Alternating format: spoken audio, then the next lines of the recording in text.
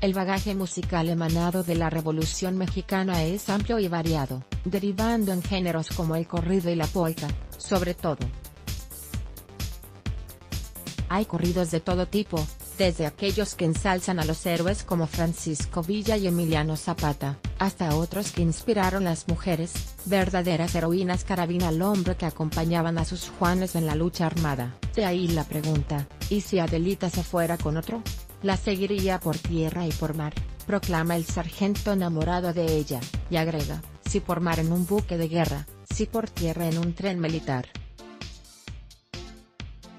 Tales melodías como la Adelita, Jesucita en Chihuahua, La Cucaracha, La Toma de Zacatecas, Carabina 3030 y muchas otras, continúan escuchándose en el ánimo popular aún en tiempos de reggaetón y otras lindezas sencillamente porque forman parte de la cultura musical de nuestro pueblo, reseñando lo mismo épicas batallas, que historias de amores y desamores surgidas durante la Revolución, un periodo comprendido entre los años 1910 y 1930.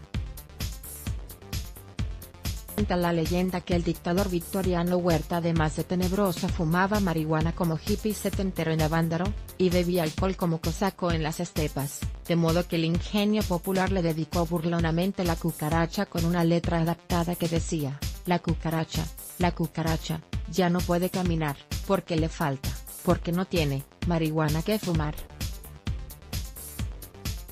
Pero además, la música revolucionaria ambientaba en aquellos tiempos, y motivaba a los héroes alegrándoles el alma mientras combatían al frente de sus tropas, así, se cuenta también que Doroteo Arango, el centauro del norte, ordenaba a su banda de guerra interpretar la delita en el fragor de la contienda. Tres vertientes La música en la Revolución Mexicana comprendía, principalmente, tres vertientes, el corrido, el vals y la polka. El primero, como ya dijimos, recogía historias de hazañas de la vida real que se difundían entre el pueblo, el segundo, representaba la parte romántica y, el tercero, inducía al baile, a darle, que es mole de olla, se oía exclamar a los alzados, y quiéreme, Jesucita, quiéreme, por favor. Mira que soy tu amante, y seguro servidor.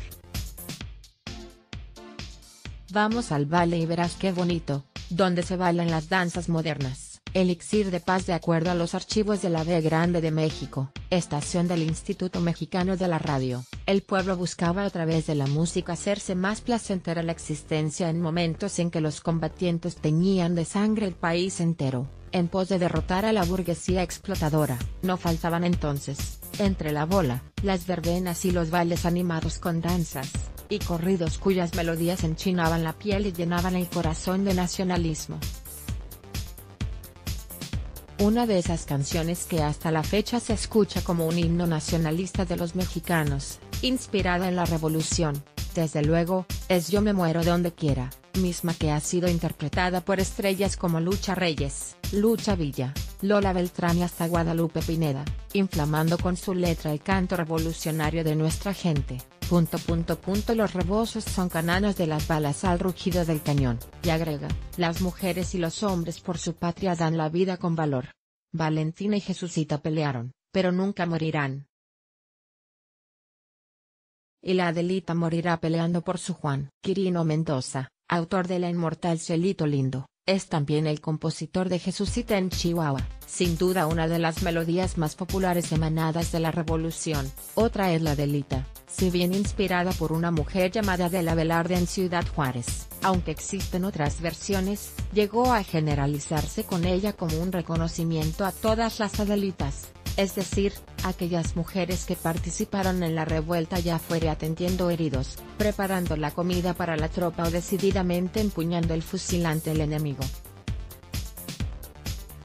Así es, la mujer fue parte fundamental en la lucha revolucionaria de ahí que en la actualidad se les siga recordando con melodías como la Adelita, la Valentina, la Coronela, las Soldaderas y la Rielera, entre otras.